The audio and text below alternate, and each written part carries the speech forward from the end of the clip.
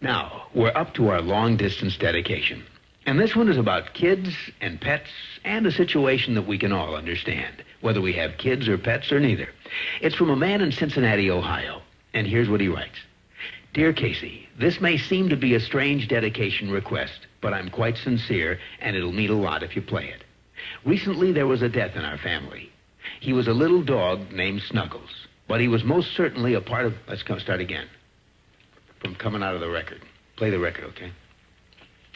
Please.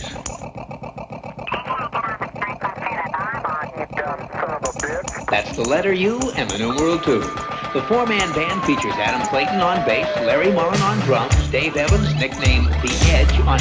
This is bullshit. Nobody cares. These guys are from England, and who gives a shit? Oh, yeah. Just a lot of wasted names that don't mean diddly shit. I,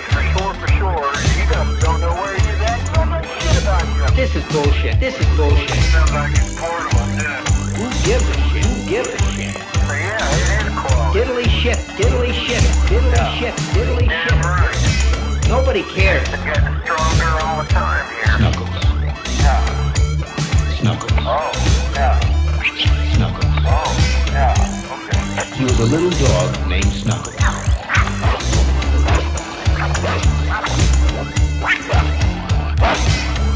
This is American Top 40. This is American Top 40. This is bullshit. This is bullshit. bullshit.